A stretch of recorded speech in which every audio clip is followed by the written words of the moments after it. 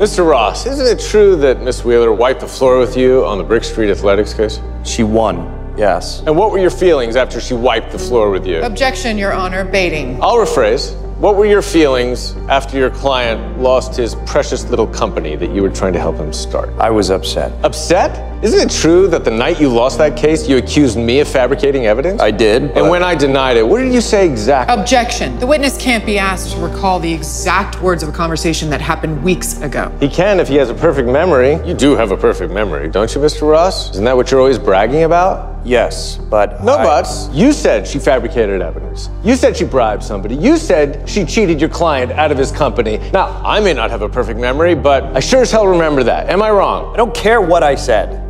I had no proof that anyone fabricated anything, and neither did your client the night she fired mine. No, she just knew it in her gut. Exactly like you did the night you came screaming at me. No further questions, Your Honor.